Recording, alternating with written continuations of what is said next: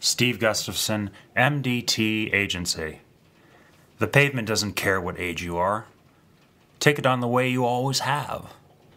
Live healthy and take one a day women's 50 plus, a complete multivitamin with seven antioxidants to support cell health. Age? Who cares?